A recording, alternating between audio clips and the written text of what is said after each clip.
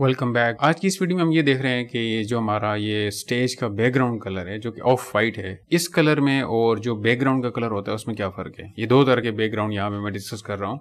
इन दोनों में फ़र्क जानना बहुत ज़रूरी है। लेट से एक बैकग्राउंड तो ये वाला है जो हमें ये नज़र आ रहा है बैक मैं। लेट से ये इसको कंट्रोल जी कर देता हूँ। ये जो बैकग्राउंड हमें नज़र आ रहा है स्टेज का जो बैकग्राउंड है, ये सारा जो बैकग्राउंड हमें नज़र आ रहा है, ये एक और बैकग्राउंड है, ये इंटरफेस का बैकग्राउंड है, ये स्टेज का बैकग्राउंड है। और एक दूसरा बैकग्राउंड जो होता है, वो फ़ाइल में जाके आप जब प्रोजेक्ट सेटिंग में जाते हैं और यहाँ पे आप एक प्रोजेक्ट डिफाइन कर, एक यहाँ पे ये बैकग्राउंड नज़र ये दो डिफरेंट तरह के बैकग्राउंड है। इनमें फ़र्क क्या है, वो डिस्कस करने जा रहे हैं हम।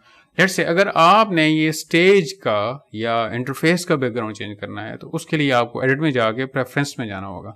इसमें जाने के बाद आप एडिटर कलर्स में जाएँगे और ये वाला जो बैकग्राउंड है, ये कलर जो जो हमारे पूरे प्रोग्राम का बैकग्राउंड है और ये एक प्रोजेक्ट में चेंज होगा, बल्कि हर प्रोजेक्ट में ये पूरा ही चेंज होगा, जब तक आप दोबारा चेंज करिए पूरे प्रोग्राम का इंटरफेस चेंज कर रहा है यहाँ पे आप। यहाँ पे क्लिक करें।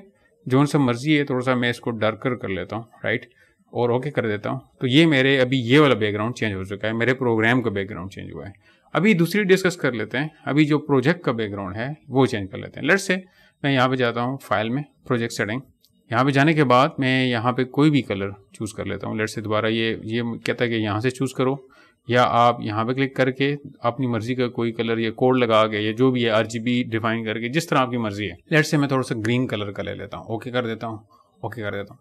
देखिए, मैंने वहाँ पे सिलेक्ट कर दिया ओके भी कर दिया, लेकिन मुझे बैकग्राउंड नज़र नहीं आ रहा। तो कैसे नज़र आएगा?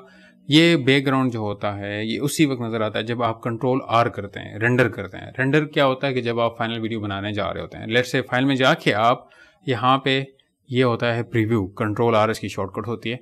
आप जो प्रीव्यू करते हैं, देखें ये जो मैंने ग्रीन कलर सेलेक्ट किया था, वो मुझे भी नज़र आ रहा है। तो ये रेंडर में नज़र आता है, इस तरह प्रोजेक्ट में नज़र नहीं आता। तो ये सिर्फ़ और सिर्फ़ आपको अभी मैं दोबारा कंट्रोल आर करता हूँ। ये सिर्फ़ और सिर्फ़ आपको रेंडर के वक्त नज़र आएगा। जब आप प्रोजेक्ट को फाइनल रेंडर करेंगे तो ये उस वक्त नज़र आएगा। इस तरह आपका नज़र नहीं आएगा। मैं दोबारा इसको चेंज कर देता हूँ। लेट से प्रोजेक्ट सेटिंग में जाके, ये प्रोजेक्ट सेटिंग में चला गया मैं। मैं इसको दोबारा क्लिक करके मैं थोड़ा सा इसको लेट से रेड टाइप थोड़ा सा ले लेता हूँ। इस दफ़ा ये काइंड पिंक हो गया। ओके कर दिया। अगेन ये यहाँ पे मुझे नज़र नहीं आ रहा। कंट्रोल आर करूँगा तो ये मुझे नज़र आ जाएगा। तो ये बैकग्राउंड है।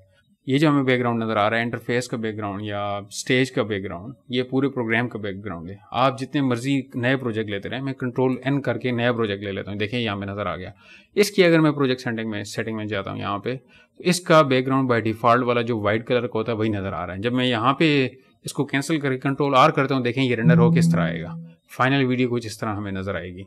तो ये प्रोग्राम का बैकग्राउंड जो है, जितने मर्ज़ी आप प्रोजेक्ट्स बनाते रहें, ये सेम रहेगा। अनलेस अनटिल कि आप दोबारा एडिट में जाके प्रेफरेंसेस में जाके और इधर जाके आप दोबारा चेंज नहीं करते, ये उसी सूरत में चेंज होगा राइट और ये जो प्रोजेक्ट का बैकग्राउंड है, ये हर दफ़ा आपको नया डिफाइन करना पड़ेगा। और इसके अलावा यहाँ पे एक और इंपॉर्टेंट बात है, क्या ये बैकग्राउंड या इन चीज़ों में उलझने की ज़रूरत भी है? क्या ये इंपॉर्टेंट भी हैं? तो इस सवाल का जवाब ये होगा कि जब आप कार्टून या कुछ भी बना रहे होंगे तो आप ज़्यादातर इसमें स्काई वगैरह बैकग्राउंड खुद लगाएँगे। जब आप कोई किसी इमेज को या किसी ड्राइंग को या बाहर से लेके आते हैं या इस मोहो में खुद बनाते हैं तो उस वक्त ये चीज़ें इतनी मैटर नहीं कर रही होती। बिकॉज़ आपने प्रोजेक्ट जो है वो खुद ही उसका बैकग्राउंड भी बनाया हुआ है, जो कि इस स्टेज से बड़ा हो, जो कि ये जो रेंडरिंग एरिया है, इससे बड़ा होगा वो। बिकॉज़ आप जब कैमरा को रोटेट करेंगे तो वो साथ में बैकग्राउंड भी मूव कर रहा होगा।